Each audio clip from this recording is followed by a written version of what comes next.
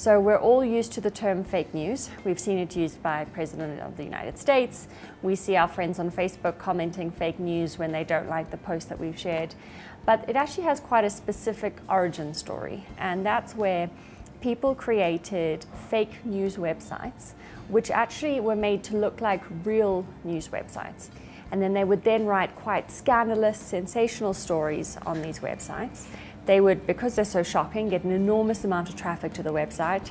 They'd have ads on the website. This would drive quite a lot of ad revenue and they could make quite good money. So when we talk about fake news and fake news websites, we're talking about websites which create false stories to try and attract a lot of people to those websites.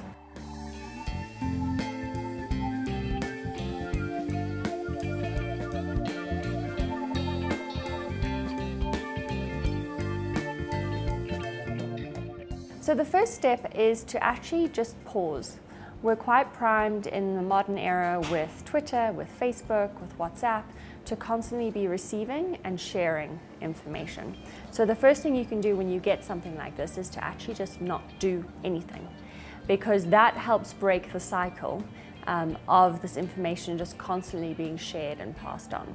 So take a moment, have a look at what you're reading, and then check if it incites a response or a feeling in you. Does it make you scared?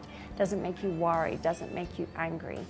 Because real stories and accurate information can make you feel these ways, but fake news stories are primed and designed to shock you, to upset you, so that you then do respond and react.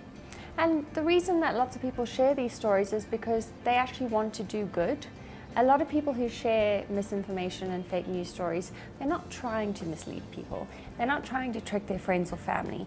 They see something that upsets them, and maybe it's a warning or it's a scary story, and they want to pass it on. Most people sharing this information aren't doing it with malice. They aren't trying to mislead. They're actually thinking they're helping, but they're inadvertently helping spread and share information that isn't helpful and can actually be harmful in some cases.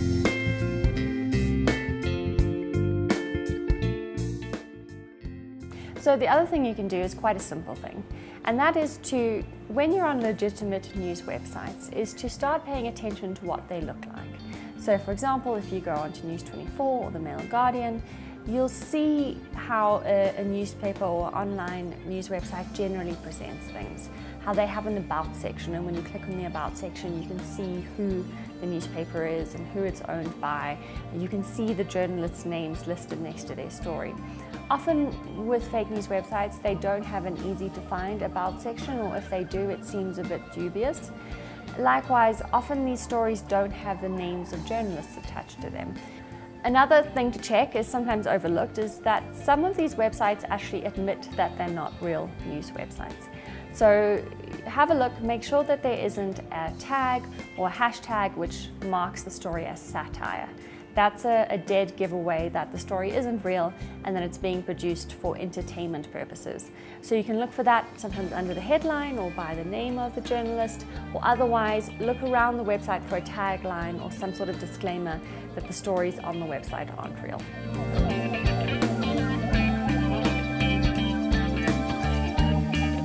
Once you've checked who owns the website, if it's satire, how it makes you feel, the next easiest step is really just to hop onto Google. If a story is as shocking and scandalous as it sounds, then it's probably going to be reported on somewhere else.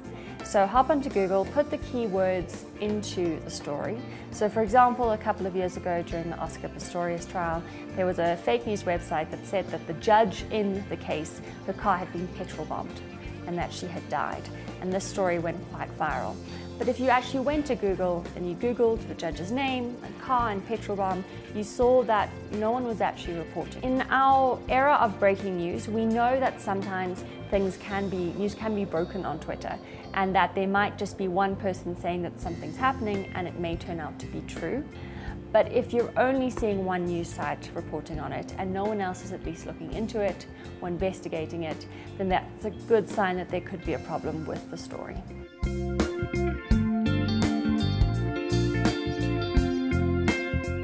There are a couple of online tools that make fact checking for everyone a lot easier. So the first one I would really recommend using and getting acquainted with is Google Reverse Image Search. A lot of the misinformation that we see is actually surrounded around images. And we see this in a couple of ways. The first is when an image has been photoshopped. So this is where you have an image and someone has altered it, tweaked it, messed with something in the picture to suggest something that didn't actually happen. So an example of this was when a picture was quite widely shared that showed former President Jacob Zuma supposedly dancing with Babes Wodumo. And that would help you find similar pictures. Another great tool is actually called TinEye. And what that does is that it finds the original of the picture that has been altered. And quite interestingly then, it allows you to compare the two.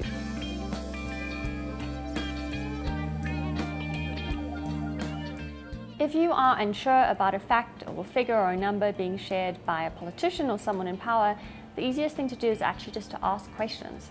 If you can find them on Twitter, you can tweet them, maybe they're on Facebook and you can send them a direct message.